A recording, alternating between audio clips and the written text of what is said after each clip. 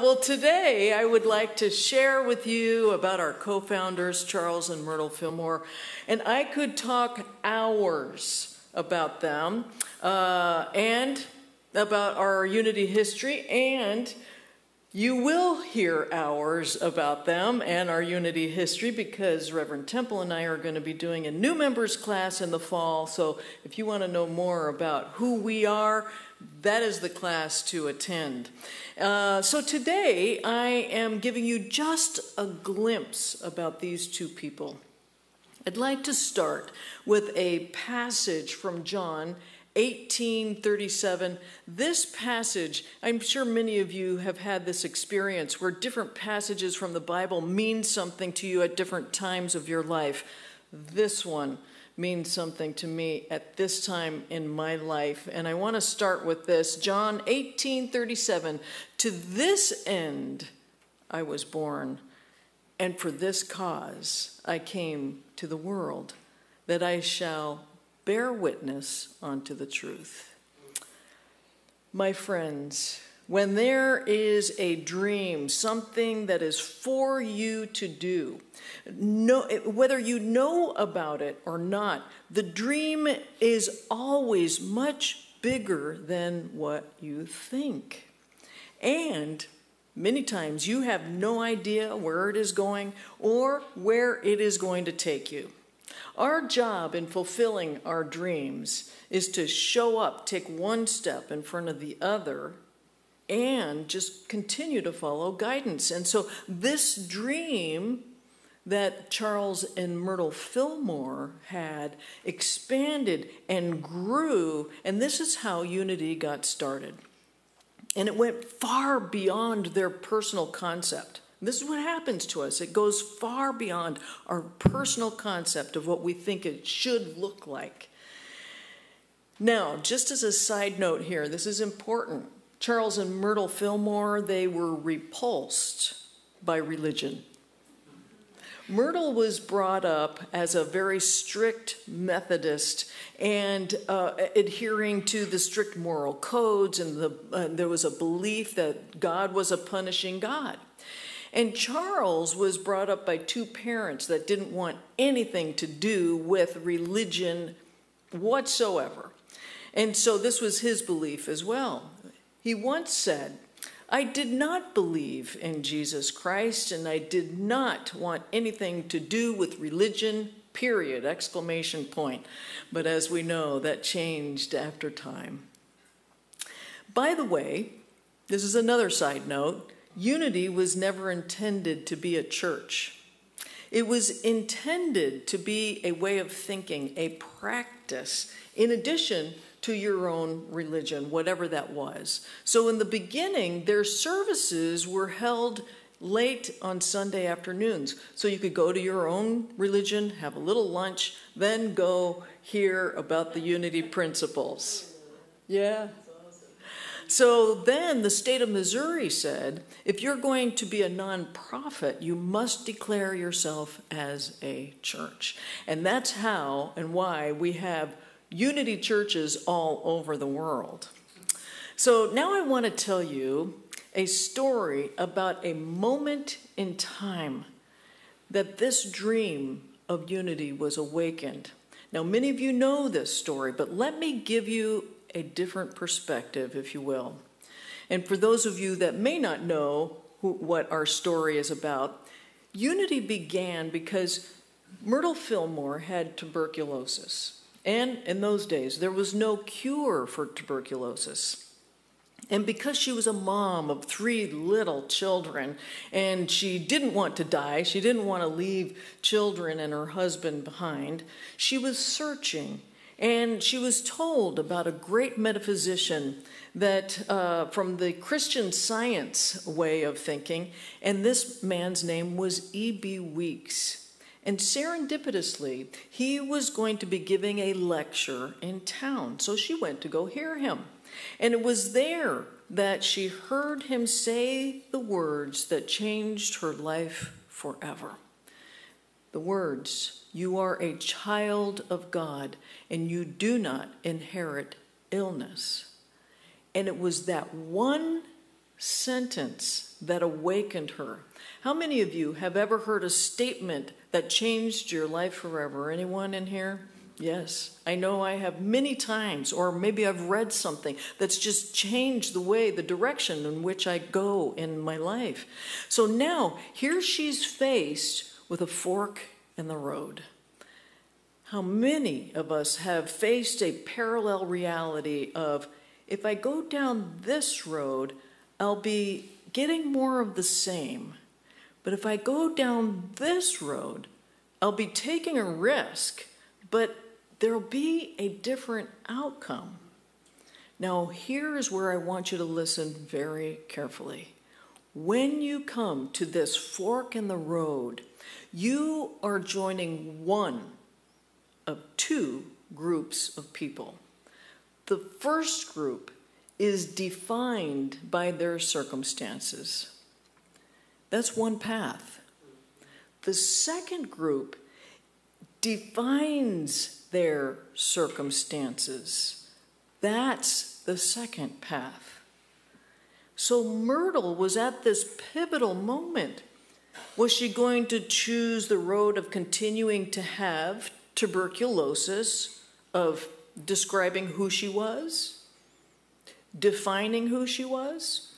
Or was she going to define her circumstance?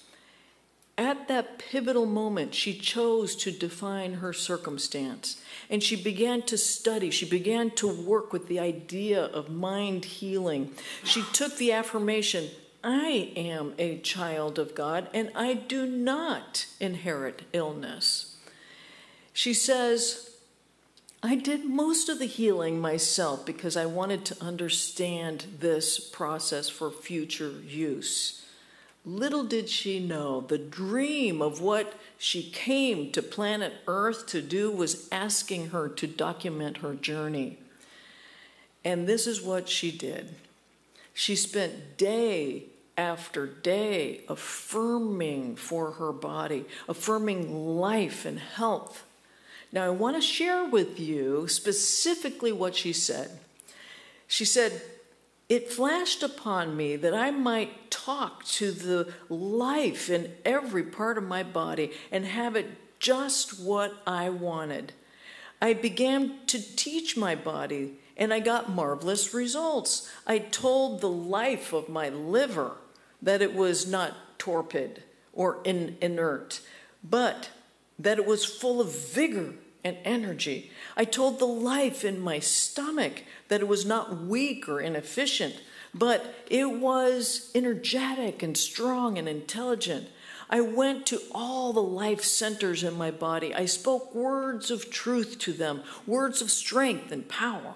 I asked for forgiveness for the foolish, ignorant course that I had pursued in the past when I condemned them and I called them weak, inefficient, and diseased. I did not become discouraged after their being slow to wake up to keep right on, but silently and aloud, declaring the words of truth until the organs responded. She did this day after day and apparently month after month. And she talked to the divine intelligence that is that's that's active in all of our bodies that knows how to heal itself. So rather than saying i have a weak body and being the victim to her circumstance she declared her health and wholeness. The god in me is healthy whole and well. And she healed herself of tuberculosis she lived until she was 86 years old with and being healthy whole and well Throughout the years, she was called the mother of unity because she was the one that really brought birth to this dream, brought fruition to this dream. It was that pivotal moment where she could have chosen a different reality of being defined by her circumstance. My friends, this is why we say that these teachings, these unity teachings, offer you freedom. Because our teachings say you can define your experience, you have the power to co create with Spirit.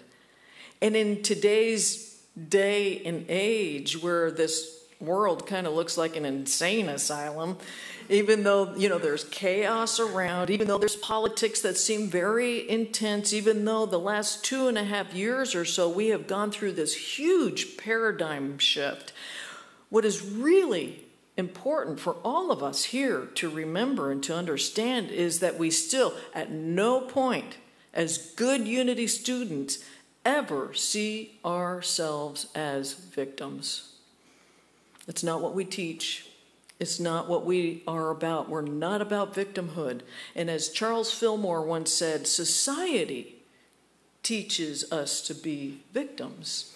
And he's right. You look out into the world, victims are, are just simply reacting to what is going on. And if you let yourself, there's plenty to react to. Would you not agree? Yeah. So when people come into these unity teachings, we are simply asking, are you willing to take personal responsibility? Are you willing to rise to another level of consciousness? And so, as Charles Fillmore said, this, I love this. This is what Jesus has in mind when he says, In the world you will have tribulation, but be of good cheer. I have overcome the world. And he goes on to say, This doesn't mean to hide your head in the sand not to face it, nor does it mean to blow up or try to forcibly change it. It means to rise above, to rise to another level of consciousness. Don't think about the problem, he says, think about God. The moment you choose out of victimhood. The moment you choose a higher way of looking at things, the moment you choose to define your circumstance instead of the circumstance defining you, your life begins to change for the better. And you have a bigger impact on all those in whom you come in contact. And that is what Myrtle Fillmore, the mother of unity, brought us at that moment, when she heard those words, I am a child of God and I do not inherit sickness. She could have stayed the same, but she chose out of victimhood. And it wasn't, and if it wasn't for her taking that path, unity would not exist. Now, once she got into this way of being, she said she just couldn't leave her neighbors alone as as soon as she found out that maybe someone in the in the nearby neighborhood or even beyond, as soon as she found out that they were going through a health challenge or a financial challenge, she would go over there and do some kind of healing for them. She would pray over them. My favorite story is that one day there was a salesman that came to their house and, she, and he was uh, selling picture frames and he had this whole suitcase just full of picture frames. And Myrtle was the kind of person who would just let anyone in. So she began to converse, and uh, or they began to converse, and Myrtle and, and Charles's son Lowell, who was just a toddler at the time, was peering in the suitcase, looking at what was in there, all these picture frames. And Myrtle said, "Oh, this is this is my little boy," and the salesman said, uh, "I have." A little boy about that age too, and he, he will probably never see again. He has advanced cataracts in both eyes. And she told him of her own experience with prayer, that she was healed by prayer, and, and asked if, if she could see the boy. So she went over to his home. She worked with the little boy, helping him to realize that he was a beloved child of God and that God truly loved him and that it was God's will for him to have perfect eyesight. She went back a couple of other times, and by the third time, he was completely healed. Well, word spread around, right, of all these healings that were going on. She began to offer her services for prayer, had groups of prayer, like we're doing here. We have mastermind groups now, we have prayer groups. So she began these prayer groups and soon developed a, a big following of people. And this is how silent unity was born. It was the first 24 hour prayer ministry that still exists today. Now, to tell you a little bit about her demeanor, in the book, The Story of Unity, Sherry, do we have that in the bookstore? Oh, okay. it's on its way if not. So it is worth getting. So in the in the um, in this in the book, the story of unity by James Dillett Freeman, he talks about her demeanor, and it says about Myrtle Fillmore. There was always an unworldly quality that once made her husband say of her, Myrtle belongs on another planet. She was not much concerned with worldliness. Her, her speaking was more likely to consist of the inspiration that came to her at the moment.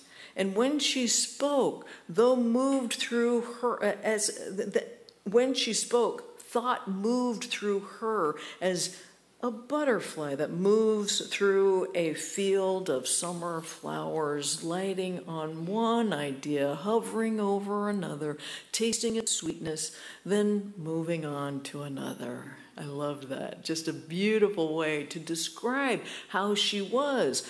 Myrtle was not much for chatter. She felt like chit chat was a waste of energy. She was very, very in tune with her higher self. And she was very intuitive. In fact, she knew the day that she was to die.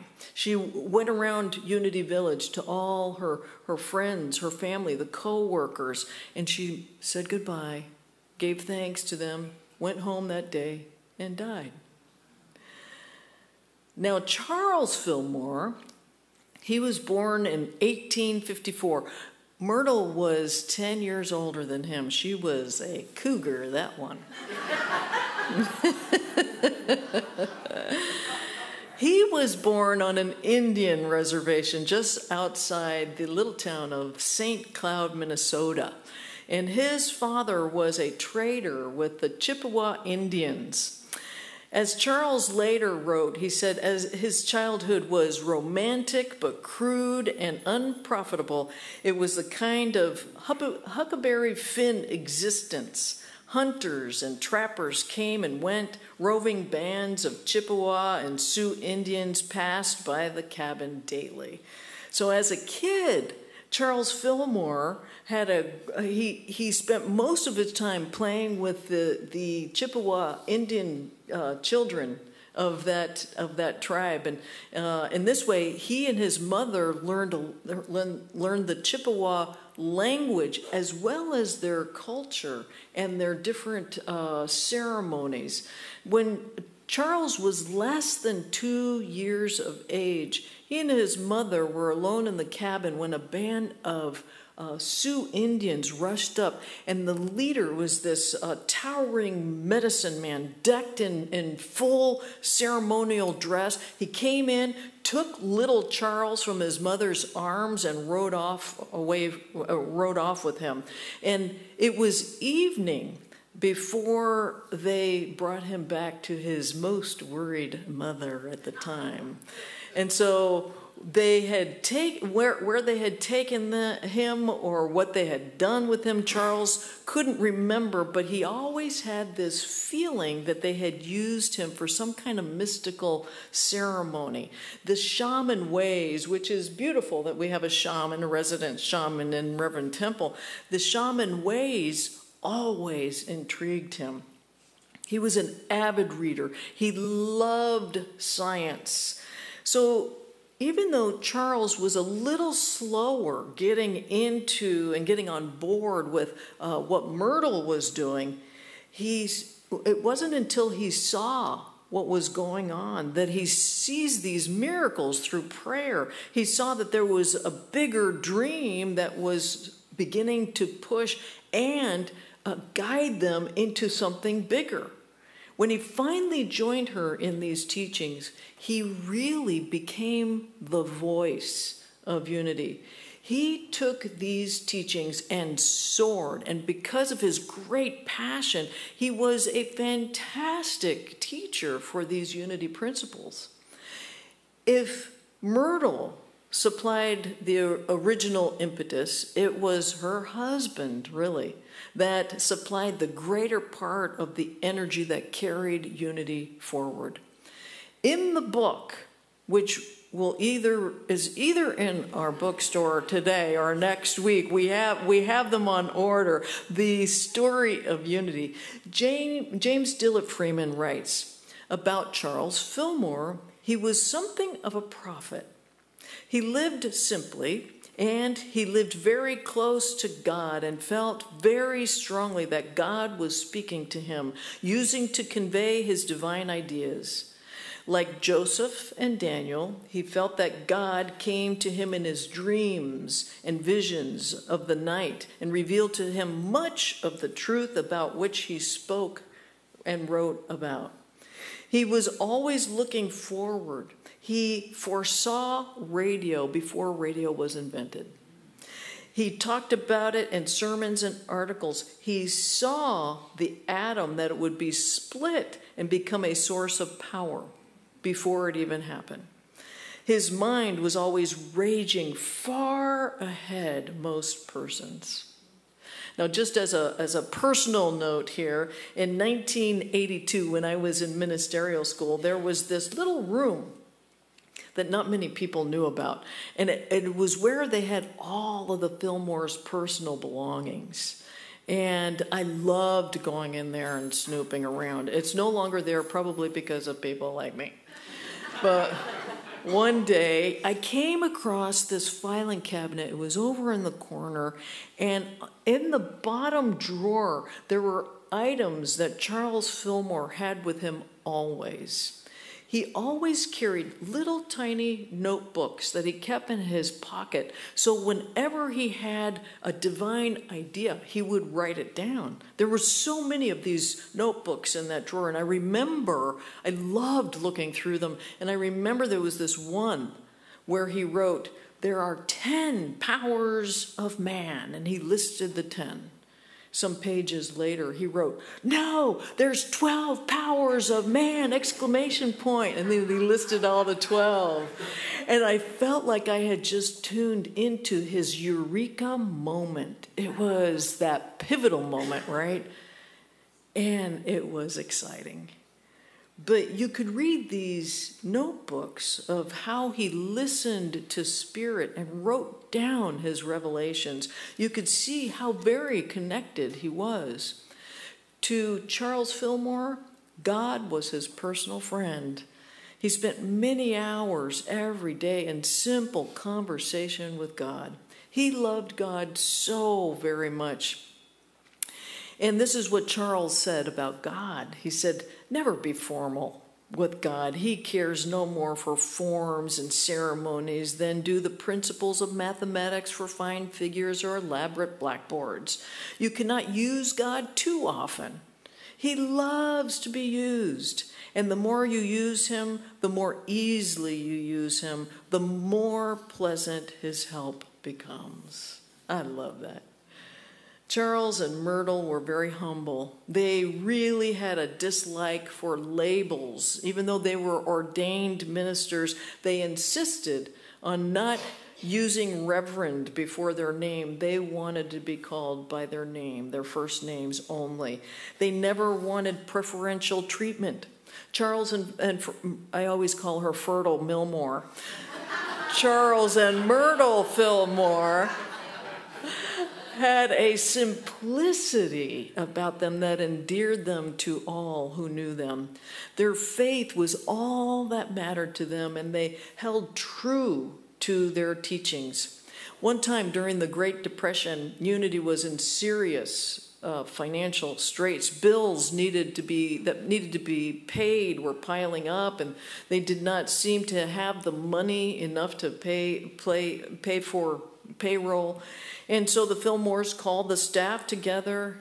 Let's pray about this. And one of the staff said, Let us pray that the money holds out. And, and Myrtle whispered, No, let us pray that our faith holds out.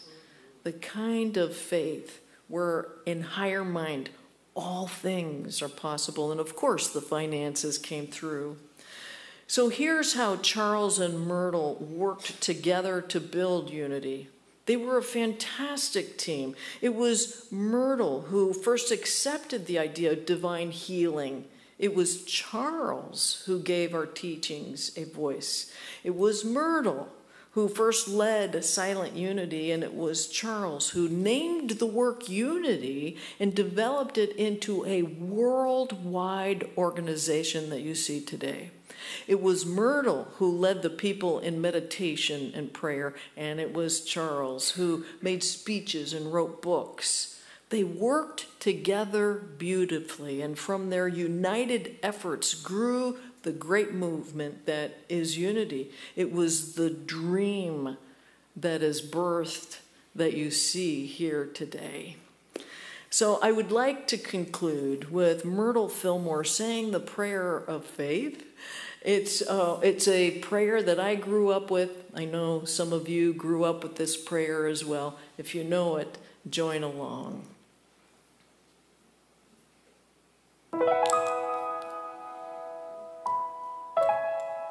God is my help in every need. God does my every hunger feed. God walks beside me, guides my way through every moment of the day. I now am wise, I now am true, patient, kind, and loving too. All things I am can do and be through Christ the truth that is in me. God is my help. I can't be sick. God is my strength unfailing quick. God is my all. I know no fear. Since God and love and truth are here. Amen.